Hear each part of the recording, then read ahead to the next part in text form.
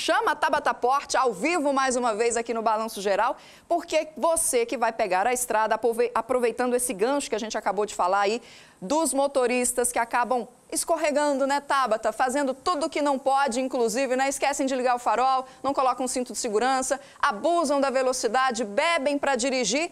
A gente quer saber, a movimentação, é claro, agora, a partir desse feriadão aí, vai ser mais intensa, então as pessoas começam a se movimentar nas rodovias. Eu quero que você traz para a gente os detalhes, os perigos que podem, de repente, aí pegar esses motoristas agora na BR-101. Atualiza para a gente as informações no momento.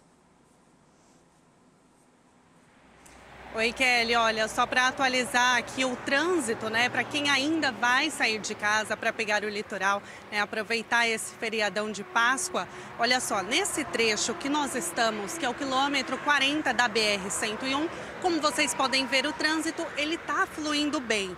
Só que segundo a Artérias Litoral Sul, né, a concessionária que administra a rodovia, a estimativa é que mais de 210 mil veículos passem hoje pela rodovia até as 20 horas, até as 8 horas da noite. Mais cedo houve um acidente no quilômetro 60 da BR-101, no trecho de Araquari, que interditou a, ficha, a faixa esquerda na pista sentido Porto Alegre. E aí, por conta desse acidente, gerou um tráfego intenso, uma lentidão pela faixa direita, gerando 4 quilômetros de fila. Então, no, nos dois sentidos, o fluxo de carros, o trânsito, ele é bem intenso. Já na BR-280, quem for pegar essa rodovia, segundo a Polícia Rodoviária Federal, nesse momento, no trecho de São Francisco do Sul, o fluxo é intenso, viu? Intenso, lento, em direção às praias e também na área urbanizada de Araquari. Em todo o restante da BR-280, o fluxo é normal, sem registro de filas. E aí, só retomando aquilo que você falou, tomar muito cuidado, né? Fazer todo aquele.